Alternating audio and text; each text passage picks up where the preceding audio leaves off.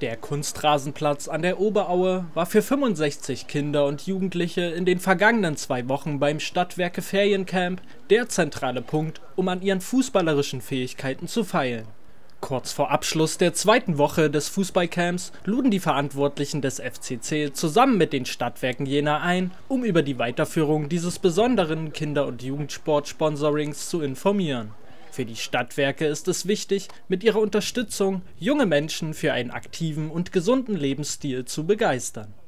Sie finden das total toll und total wichtig, dass es diese Feriencamp-Angebote gibt. Ich habe selber zwei Kinder, eins davon geht auch schon in die Schule und äh, insofern kann ich das ganz gut nachvollziehen, vor welchen Sorgen und Nöten man auch als Eltern damit untersteht. Und da ist es äh, super äh, toll zu wissen, dass es so eine Angebote gibt und die Kinder da praktisch eine ganze Ferienwoche gut betreut sind und äh, Freude an der Bewegung finden und ähm, auch für jemanden, der vielleicht jetzt nicht unbedingt in den Leistungssport gehen will, es ein Angebot gibt, ähm, wie man sich da betätigen kann.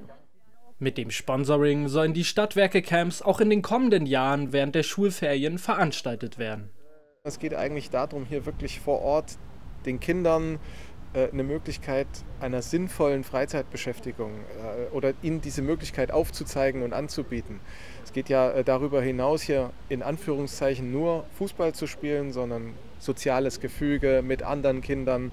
Heute haben wir einen wunderbaren Tag, aber gestern hat es geregnet, bei Wind und Wetter äh, draußen zu sein ähm, und äh, was Gemeinsames hier in der Region zu machen und eben auch eine erste Verbindung herzustellen zum, äh, zwischen Club und einem äh, Nachwuchs, Fan-Nachwuchs, Mitgliedernachwuchs und das ist schon eine wunderschöne Sache dass in dieser Woche mit 65 Kindern und Jugendlichen mehr kleine Fußballbegeisterte als jemals zuvor beim FCC Feriencamp waren, ist für den FCK Zeiss Jena und die Stadtwerke ein Beweis für den Sinn des Engagements. Denn so können auch neue Talente für den Regionalligisten gefunden werden.